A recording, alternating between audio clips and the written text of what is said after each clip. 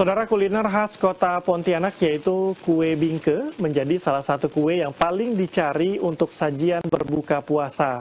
Selama bulan Ramadan, permintaan kue bingke ini melonjak cukup drastis.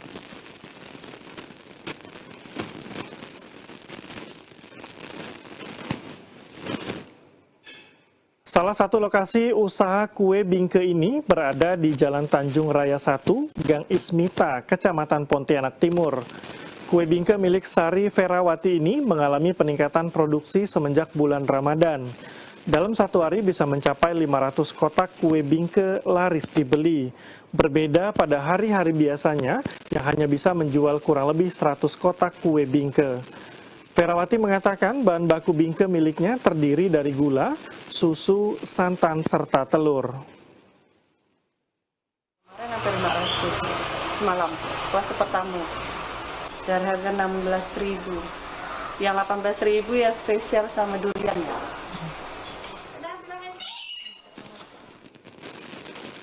Sari Ferawati mengatakan usaha kue bingkenya ini telah berlangsung hampir 40 tahun lalu dan merupakan usaha turunan dari orang tuanya.